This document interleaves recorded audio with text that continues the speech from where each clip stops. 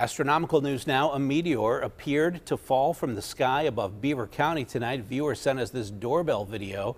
This is from the New Brighton area. You can see the meteor starts out as a small bright spot in the sky. It seems to get bigger there as it approaches the ground.